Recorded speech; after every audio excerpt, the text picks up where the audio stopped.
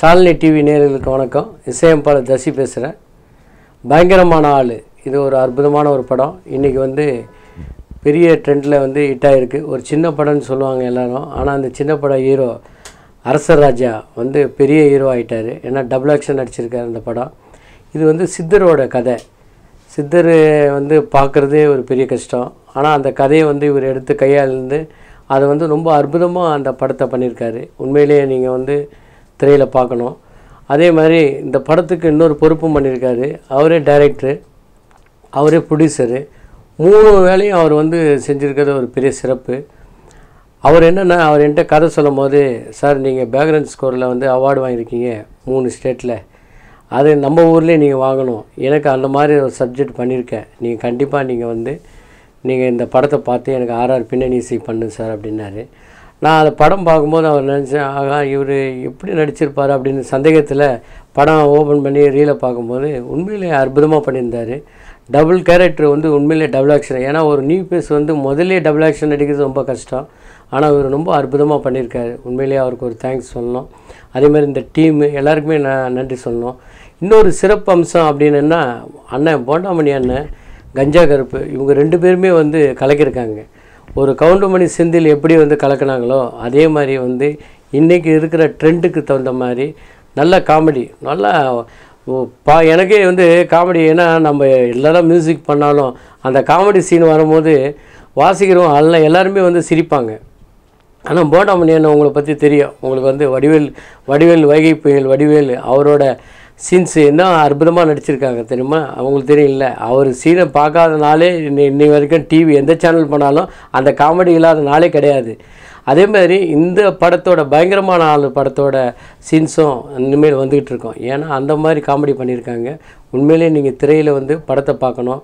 அண்ணன் போண்டாமணி அண்ணனை நீங்கள் கண்டிப்பாக நீங்கள் பே நீங்கள் கேட்கணும் அவரோட பேச்சை. இந்த கேளுங்க. வணக்கம். உங்கள் போண்டாமணி பேசுகிறேன் ரொம்ப சந்தோஷமாக இருந்தது. நான் பல பல படங்கள் அதாவது இருநூற்றி இருபது படம் நடிச்சிருக்கேன். வடிவேல் சார் கூட சேர்ந்து நடித்தது தான் எனக்கு ஒரு பெரிய வெற்றியை ஏற்படுத்தி கொடுத்தது. அடித்து கேட்டாலும் சொல்லாதீங்க. மூக்கில் தக்காளி சட்னி சீப்பை வச்சே கல்யாணத்தை நிறுத்திடுவேன். அப்படி ஒவ்வொன்று ஒவ்வொரு படமும் ஒவ்வொரு விதமாக நான் கலக்கியிருப்பேன். அது காரணம் வடிவேல் சார் எனக்கு கொடுத்த ஃப்ரீடம் தான். அதே மாதிரி இயக்குனர்களும் எங்கள் கூட்டணியை ரொம்ப விரும்பினாங்க. மக்களும் விரும்பினாங்க.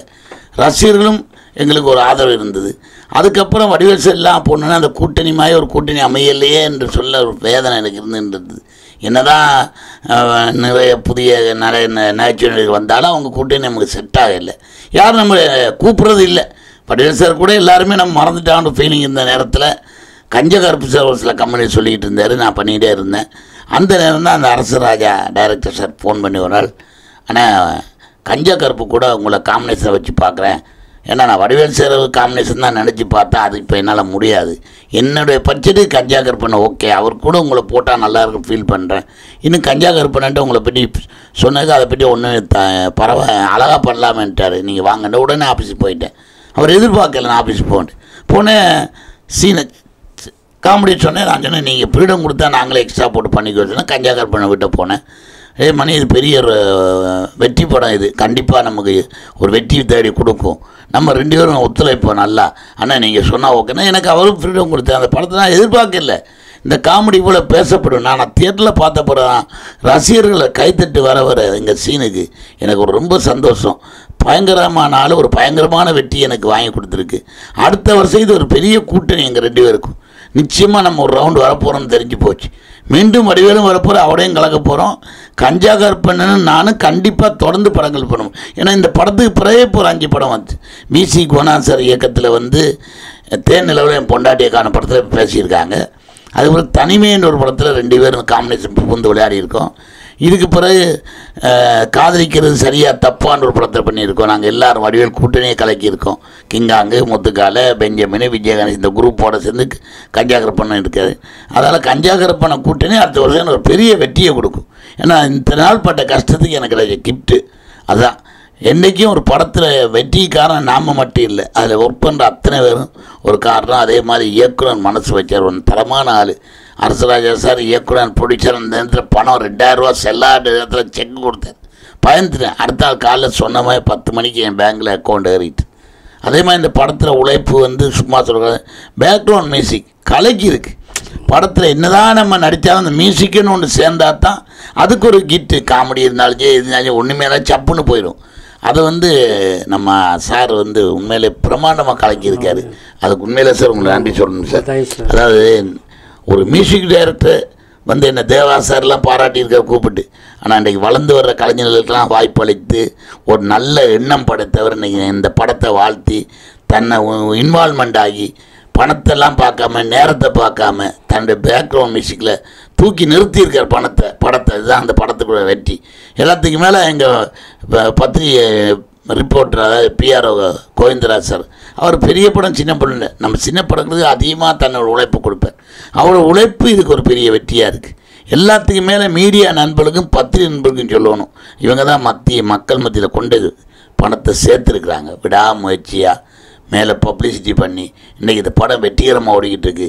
இந்த வெற்றி கூட்டணி தொடரணும். மீண்டும் வெற்றி அடைகிறதுக்கு உங்கள் வாழ்த்துக்களுக்கு தேவைண்டு உங்களோட கைகூட்டி கேட்டுக்கிட்டு படம் வந்து அரசராஜா வந்து என்கிட்ட கதை சொல்லும்போது நல்லா அற்புதமாக கதை சொன்னார். அவர் சொல்லிவிட்டு நான் டபுள் பஸ்ட் எடுத்துகிட்டு வரேன் சார். நீங்கள் பிக்சரை பாருங்கள் பார்த்துட்டு நீங்கள் டிசைட் பண்ணுங்கள் அப்படின்னாரு.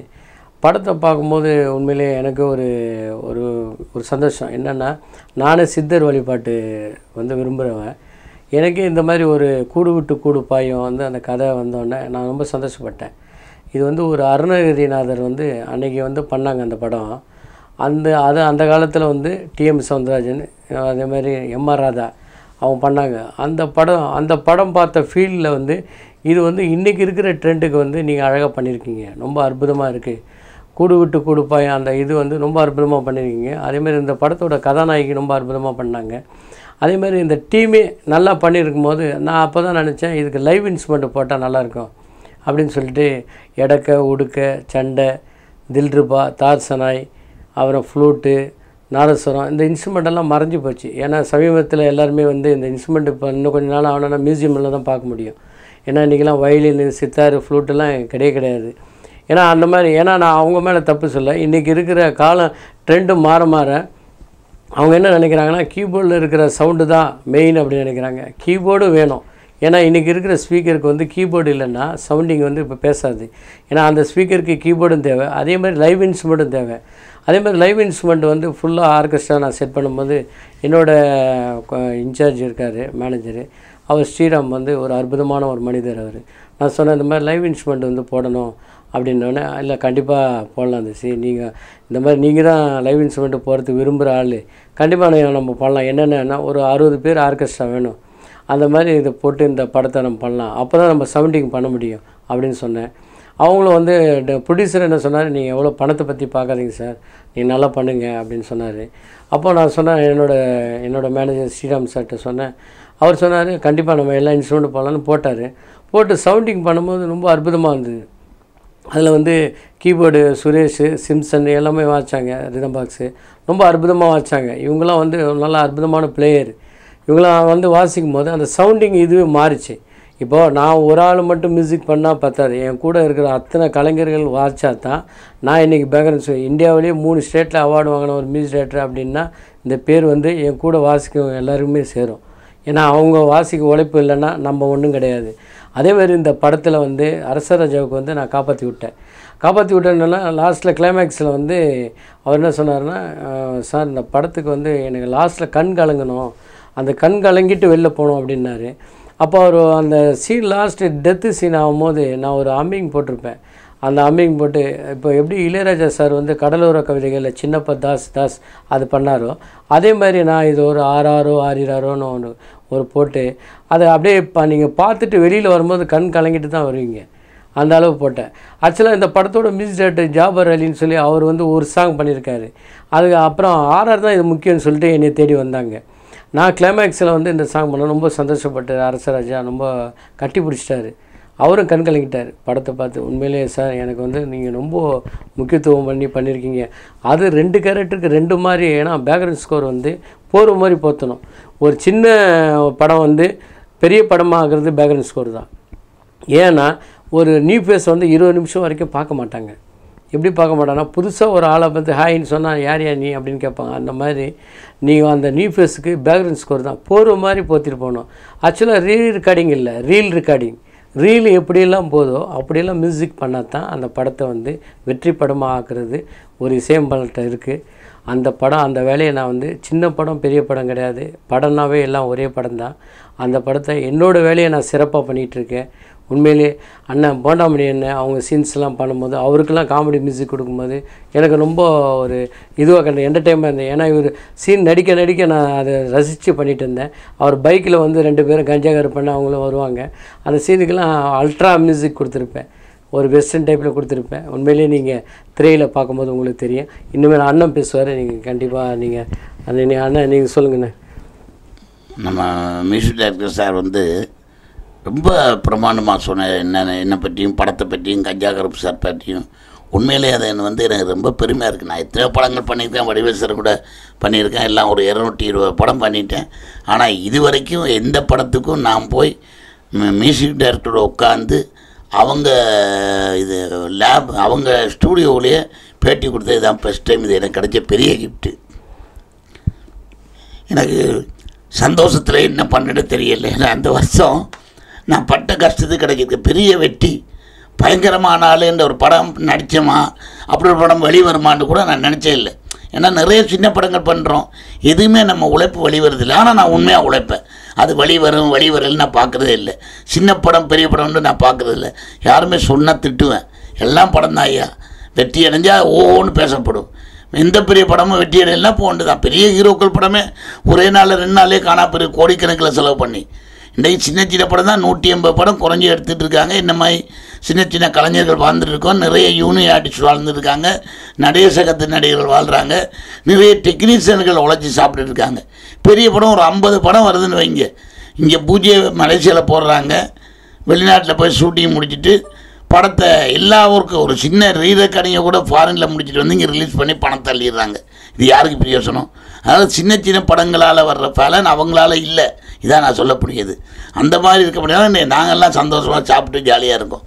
இந்த படத்தில் அரசராஜா டைரக்டர் சார் திடீர்னு ஃபோன் பண்ணி வர சொன்னோன்னே என்ன ஒரு படம் பண்ண போகிறோம் சார் நம்ம வேலையை நம்ம கரெக்டாக பண்ணுவோம்னு வச்சுட்டு கஞ்சாகர் பண்ண ஃபோன் பண்ணேன். போண்டா வா போண்டா. நம்ம முடிஞ்ச நல்லா பண்ணுவோம். அவருடைய பழக்கம் என்ன அவரும் அப்படி தான் பெரிய படம் ஃபாட்டில் இறங்கிட்டா நல்லா உழைப்பார். ஏற்றதாள் பார்க்க மாட்டார். விட்டு கொடுப்பாரு. எனக்கு அது நான் எல்லா காமெடியும் நடித்ததில்ல இவர்கிட்ட ரொம்ப பிரினியன்ஸ் கிடைச்சி எனக்கு. அதனால் அந்த காமெடியை வந்து நல்லா டெவலப் பண்ணி பண்ணக்கூடிய ஒரு வாய்ப்பு கிடைச்சி. டைரக்டர் சொன்னதுக்கு மேலால் காஸ்டியூமும் கூட நான் இன்ட்ரெஸ்ட் எடுத்துக்கிட்டு சார் இதை போடவா? அதை போடவா? கஞ்சாக்கர் பண்ண இதை போடுக்கணும் இந்த டிஷர்ட் நல்லா இருக்கும். இந்த கேப்டன் அவர் என்ன நான் சொல்கிறத கேட்டுக்கிறாரு. நான் இப்படி பண்ணால் நல்லாயிருக்கும் அதுதான் எனக்கு அதில் கிடைச்ச வெற்றி. அந்த வெற்றி அந்த உழைப்பு தான் நம்ம ரெண்டு பேரும் இன்வால்மெண்ட் ஆகி உழைச்ச உழைப்பு தான் இன்றைக்கி பயங்கரமான அல்ல. எங்களுக்கு கிடைச்ச பெரிய வெற்றி படத்துக்கு கிடைச்சிருக்க வெற்றி இல்லைன்னு சொல்லக்கூடாது. அதே மாதிரி இதில் பட்ட தொழில்நுட்ப கலைஞர்கள் அத்தனை நல்லா உழைச்சாங்க. அந்த நேரத்தில் பணத்துக்கு கஷ்டம் ரெண்டாயிரரூவா நோட்டு க மாதம் செல்லாது. அந்த நேரத்தில் நாங்கள் நடிச்சுட்டு செக்கை கொடுக்குற பயந்தோம். ஆனால் காலையில் சொன்ன மாதிரி செக்கு பணம் வருது.